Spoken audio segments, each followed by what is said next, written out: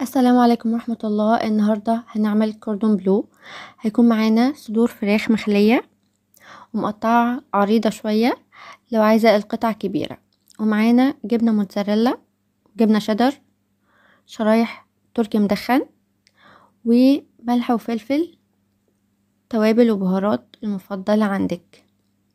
وللقلي هنحضر بيضتين بقسماط والعمل الصوص. هيبقى فيه mustard ومايونيز و barbecue sauce.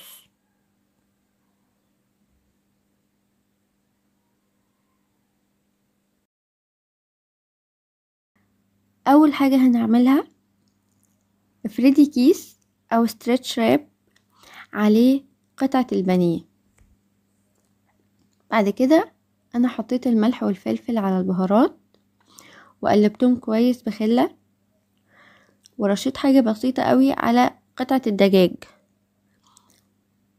رجعت غطيتها تاني بالكيس وهضرب بالمطرقة بتاعة الأكل. حاجة بسيطة مش قوي. بعد كده هبتدي أوزع الجبنة الشيدر الأول. بعد كده هحط شريحة التركي المدخن. وبحط حاجة بسيطة قوي من الجبنة الموتزاريلا.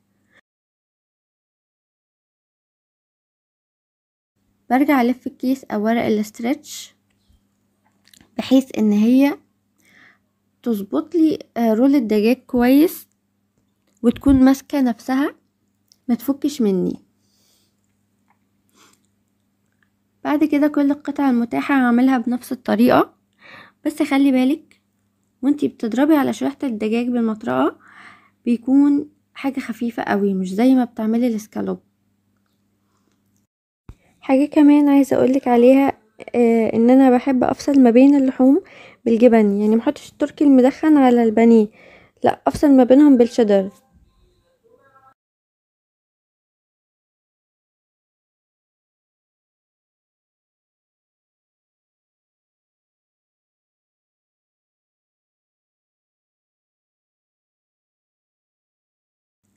بعد ما نخلص كل القطع بحطهم شوية في الفريزر لحد ما يمسكوا في بعضهم كويس قوي علشان ما تفكش مننا.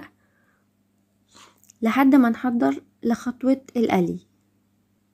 هنجيب البيض ونحط عليه ملح وفلفل. بعد كده نضربهم كويس بال hand blender.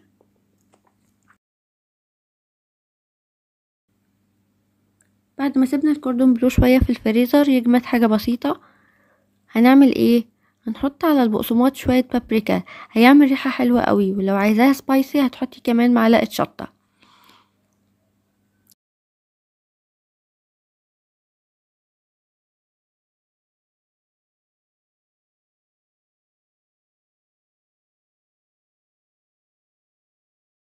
دلوقتي أنا هغطي الكوردون بلو بالبيض وبعدين أشيله أحطه في البقسماط عشان يبقى جاهز لخطوة القلي.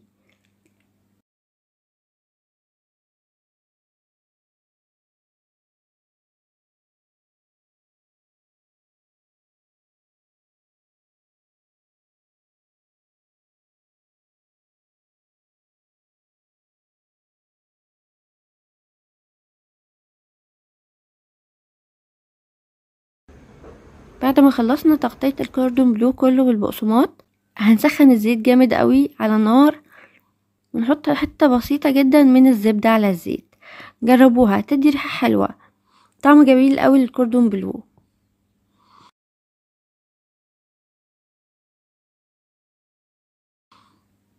بعد ما الزيت سخن هسقط الكوردون بلو.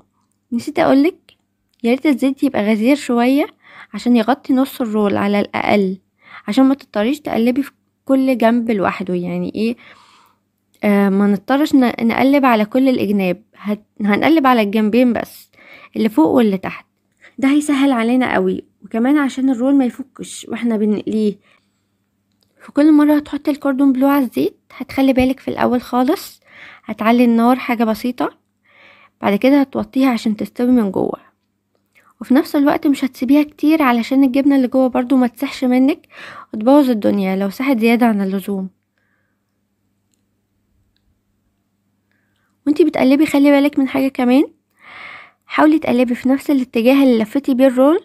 ده هيخليه متماسك أكتر وعلشان المكونات اللي جوه متقعش في الزيت. لون الكوردون بلو لازم يبقى ذهبي تمام؟ يعني ما يبقاش محمر قوي. خلي بالك برضو من حاجة زي كده.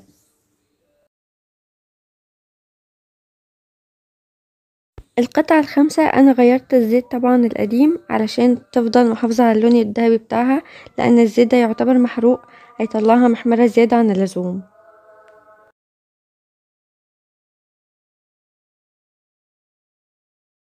بعد ما خلصنا عملية القلي هنبتدي نحضر في الصوص. هتحطي حبة mustard على طبق المايونيز. كمان ممكن تحطي كاتشب على مايونيز جنبهم طبعا صوص الباربيكيو. كده الطبق بتاعنا جاهز على السفرة. تعالوا كده نجرب نقطعة واحدة نشوفها عاملة إزاي.